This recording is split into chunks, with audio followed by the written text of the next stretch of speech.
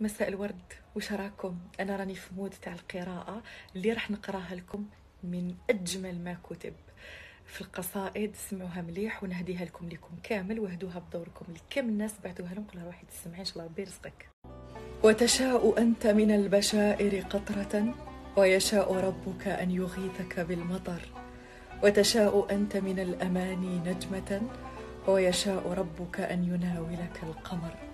وتشاء أنت من الحياة غنيمة ويشاء ربك أن يسوق لك الدرر.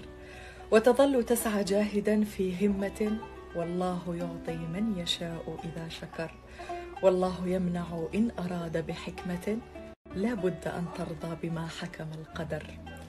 عسى أن يشاء الله لنا ولكم كل شيء في الحياة جميل بيسر.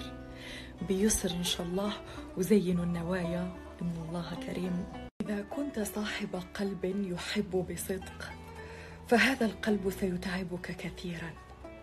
وإذا كنت صاحب ذاكرة لا تنسى فهذه الذاكرة ستتعبك أكثر. لذا لا تطل الوقوف على ركام حكاية تحولت إلى خراب. ولا توارب بينك وبين أبطالها الأبواب. فليست كل الأبواب تستحق أن توارب. بعض الأبواب أغلقها بقوة. وغادر بلا تردد. هذه لكم قاع هذه في خاطركم قاع